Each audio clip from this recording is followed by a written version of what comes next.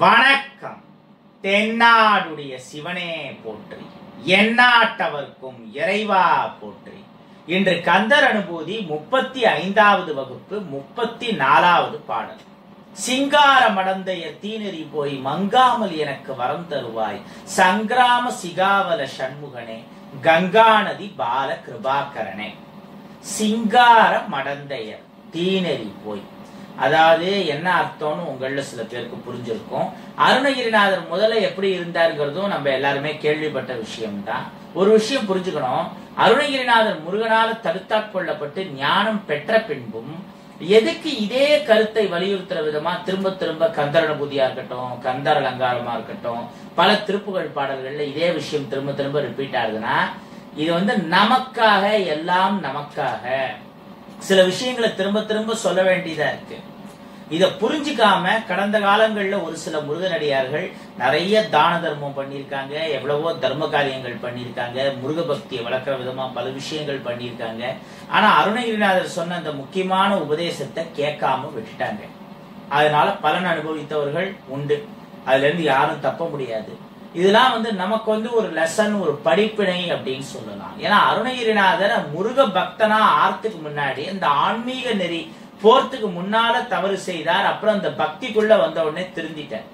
ஒரு பெரிய மகான் ஒரு தெய்வம் அந்த நிலையில இன்னைக்கு இருக்க ஆனால் அந்த பக்திக்குள்ள போனதுக்கு அப்புறமும் தப்பு பண்றாங்கன்னா அப்ப அந்த பக்தியில குறை இருக்குன்னு தானே அர்த்தம்.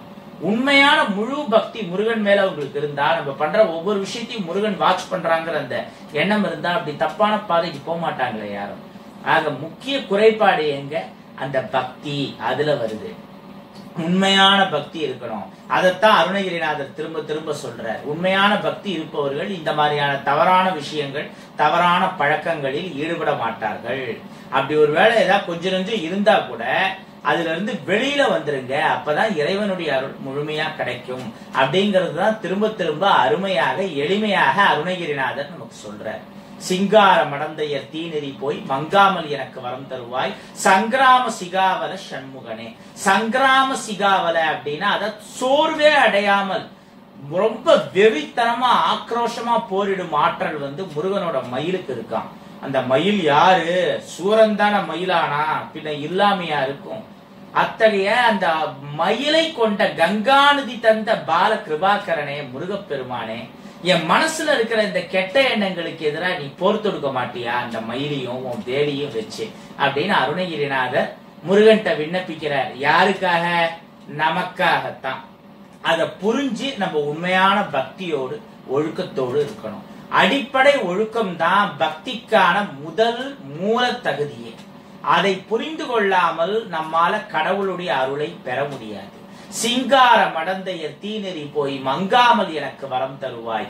சங்கிராம சிகாவத சண்முகனே கங்காநதி பால கிருபாகரனே. வாழிய செந்தமிழ் வாழ்க நற்றமிழர் வாழிய பாரத மணித்திரு நாடு நன்றி வணக்கம்.